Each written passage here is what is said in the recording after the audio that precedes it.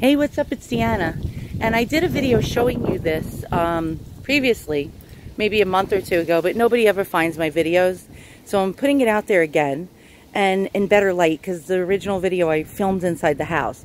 So what do I have here? So this is a Gebrüder Bing Dachshund. And let me get out of the, the uh, wind over here. And uh, this was made uh, sometime in 1912 to 1918. And it's a clockwork Dachshund. And it has the original button from Gebrüder Bing, who was a toy maker out of Nuremberg, Germany from 1863 to 1933.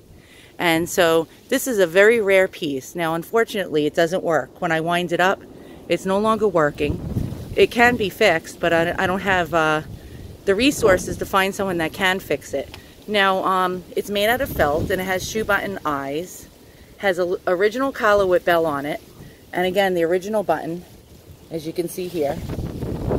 And uh, when you wound up the little ball, it has wheels on the bottom. I don't know if you can see that.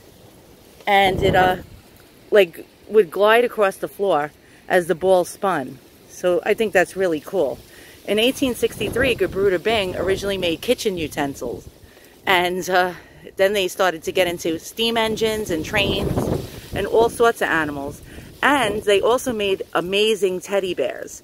And so they uh, actually were in a competition with Steiff. And uh, their early teddy bears are really, really rare.